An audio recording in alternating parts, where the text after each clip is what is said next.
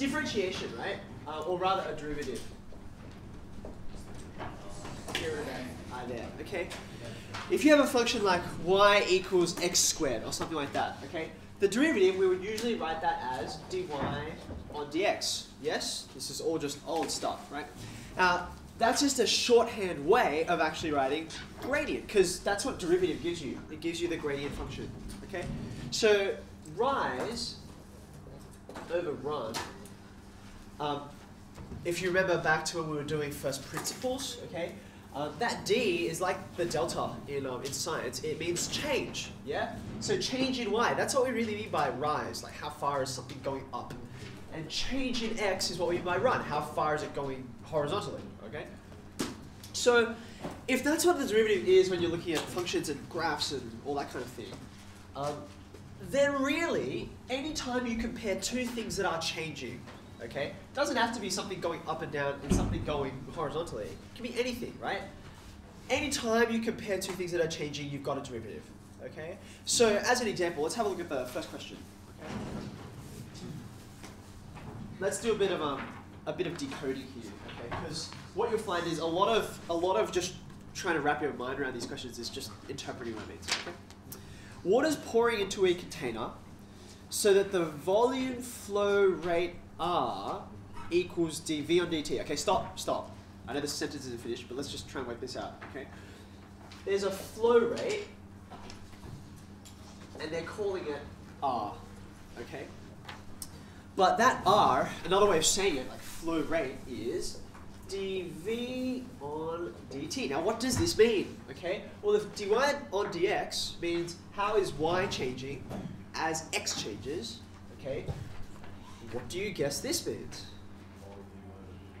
Yeah, um, change in volume, how much that's getting bigger or smaller as time progresses. Okay, change in volume over change in time. That's a really important concept to get, by the way. So I, I suggest you write that. This is change in volume over change in time. Okay, so we're trying to compare these two. Okay, and when you compare two things, what you're getting is a rate, right? It's like this per this, uh, mils per hour, or cubic centimeters per second, or whatever it is. Okay. Okay, it varies with the time according to the relation r equals kt squared. So now they're telling us that this r thing, right? They're giving us several names for the same thing, really. r, which is the same as dv on dt, that is kt, sorry, that's a k, kt squared, where k is a constant. Okay? So now this, this looks good. I've got a rate of change, right? And it's to do with time. And the actual rate is in terms of time, right? Okay, calculate the volume of water which is poured into the container in the first five seconds, given that k is equal to, all right, now, then they give you this value. So they say k is equal to, and then they put it in index form. That's fine if you want to put it in index form. I find that somewhat hard to read. Um, so I would write it with um, division instead. Okay, so you've got a rate here, and the units are cubic centimeters and seconds. Okay. Now we'll have a we'll have a think later when we do uh, rates of change formally as to why that's seconds squared like per second per second. But what we're really interested in is the quantity. The three is kind of the important part to me. Okay. So I could now write this dv on dt. That's 3t squared. Okay? Right, let's revisit what the question is. Calculate the volume of water which is poured into the container in the first five seconds. Okay? Right, now if I want to do something with volume, volume, um, I can know a lot of things about volume based on this rate, okay? Because just like if you know what the derivative is, you anti-differentiate, you go back to the primitive, and you'll get a function for y, right? Well, we're going to do the same thing here, it's just kind of different letters, yeah? So if I anti-differentiate, think about, okay, what, what function did this come from before? What's the primitive? It's a nice simple one. Yep. Okay, so you've got to have your constant there. Now, what does that correspond to? I wonder if you remember when I was talking about this is for people who were here yesterday, talking about evaluating the constant integration, right? Constant of whatever, okay. What does it refer to? Sometimes it's just a number, okay, if it's just some abstract function. But in this case, this C refers to The initial volume of water there. yeah, because think about this, right? Uh, initial conditions, that's when time's zero.